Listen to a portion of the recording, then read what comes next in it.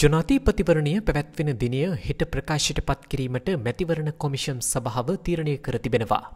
නිවේදනයක් නිකුත් කරමින් මැතිවරණ කොමිෂම් සභාව සඳහන් කර ඇත්තේ එයින් ජනාධීපතිවරයා තෝරාපත් කර ගැනීම සඳහා නියමය පළ කරන දිනය නාමයෝජනා භාර ගැනීමේ දිනය සහ ස්ථාන සහ චන්ද විමසීමේ දිනය පිළිබඳව දැනුම් දීමේ අතිවිශේෂ ගැසට් පත්‍රය හෙට නිකුත් කරන බවයි.